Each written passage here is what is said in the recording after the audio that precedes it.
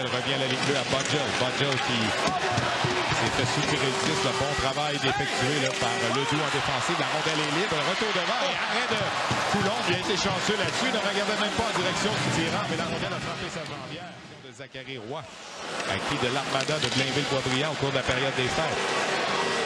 Là, c'est euh, Stairs qui a remis devant. Stairs qui a voulu rejoindre Roy qui était tout près du filet. C'est le but!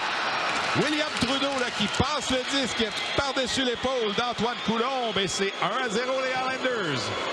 Alors l'histoire se répète, euh, tout comme euh, hier, les Highlanders marquent le premier but. William Trudeau un choix au repêchage du Canadien de Montréal, comme tu le mentionnais, Stéphane. Donc, zone offensive, on récupère les retours de lancer du côté des Highlanders. On se dirige vers le filet. Il y avait deux joueurs à l'embouchure. Et là, on bat le gardien de but dans la partie supérieure du côté du bouclier. Il y avait peu d'angle.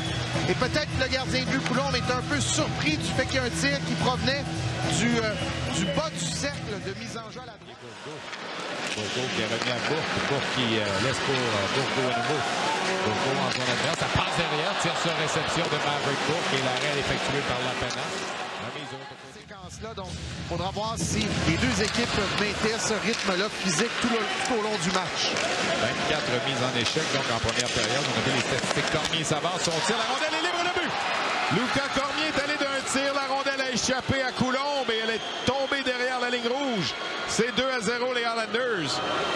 Alors les Highlanders qui doublent leur avance tôt en deuxième période. Ils avaient bourdonné en zone offensive. Lucas Cormier qui prend un bon tir du poignet. On en a parlé en première période. Donc dégagement qui est raté.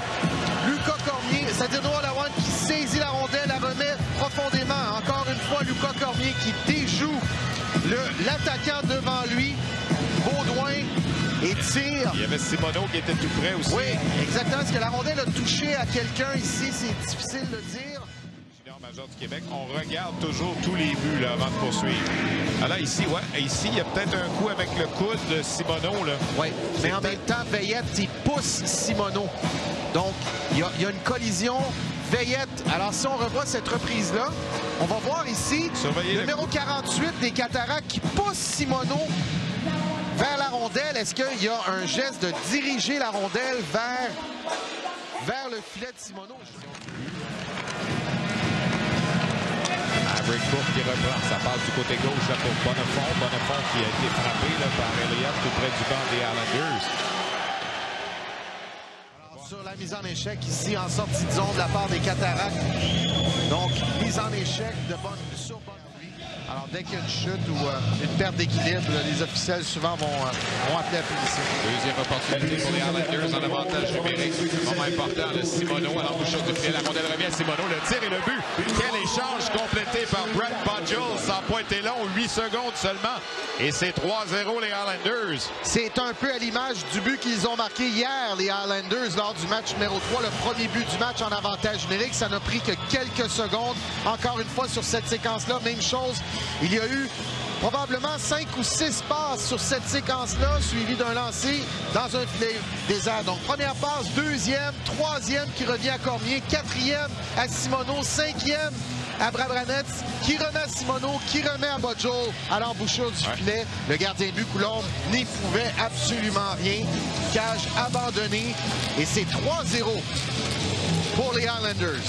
Ouais, et dans le cas de ben Pourtant, tout était là, pour, euh, comme on dit, le party. Mais jusqu'à présent, il, y a des, euh, il y a 20 joueurs avec un chandail blanc ce soir qui ont décidé de ne pas abandonner. Et William Trudeau qui va d'une percée au filet. À nouveau, on l'a regardé aller. Et c'est 4 à 0 les Highlanders. Wow. Les Highlanders n'ont pas dit leur dernier mot. En fait, ils jouent comme ils ont joué le match numéro 2 et le match numéro 3. Ils ont perdu ces deux matchs-là un peu par malchance, un peu par manque d'opportunisme. Les Cataractes qui ont été très opportunistes, bien, ce soir, après, euh, presque deux périodes de jeu, c'est 4-0. On revoit William Trudeau qui rentre et qui n'est pas couvert par son homme, par son attaquant. Et les défenseurs des Cataractes, plutôt que de protéger l'enclave, ont joué homme à homme avec leurs leur joueurs. Et là, ça donne une allée complètement ouverte à William Trudeau pour rentrer au filet et battre le gardien de but. Coulomb qui... Cormier. Cormier à Gay de nouveau. Moins d'une minute à faire dans cette deuxième période. Gay du côté de Simoneau à Gay. Mise à l'embouchure du filet. Le but, on a fait dévier ce tir de Patrick Gay. C'est ouais. Brabanets. Brabanets euh, à l'embouchure du filet. Hier aussi, belle déviation. Il était directement posté devant le gardien. Cette fois-ci, il est à la droite de Coulombe à l'embouchure du filet. Il fait simplement rediriger la rondelle alors qu'on voit les partisans des Highlanders et le drapeau du Nouveau-Brunswick.